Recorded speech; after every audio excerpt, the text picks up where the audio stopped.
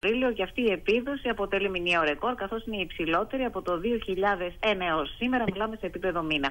Οι αναγγελίες πρόσληψης, ε, λοιπόν, έχουμε, ε, έχουμε επίδοση όμως τετραμήνου ε, και θετικό ισοζύγιο. Νέες θέσεις εργασίας στο τετράμινο Ιανουάριο-Απρίλιο φέτος κατά 125.770. Ενθαρρυντικό είναι επίσης το γεγονός ότι τον Απρίλιο καταγράφηκε αύξηση του ποσοστού της πλήρους απασχόλησης στις νέες προσλήψεις, οι οποίες αποτέλεσαν και το 55 σχεδόν, το 54,91% του συνόλου, ενώ μειώθηκε αντίστοιχα το ποσοστό των προσλήψεων με μερική και εκπεριτροπή απασχόλησης, ε, φτάνοντας το 45% των προσλήψεων. Ε, ε, επιβεβαιώνεται η θετική δυναμική που διαμορφώνεται στην αγορά εργασίας, επισημαίνει η Υπουργός Εργασίας, Εφη Αχτιόγλου.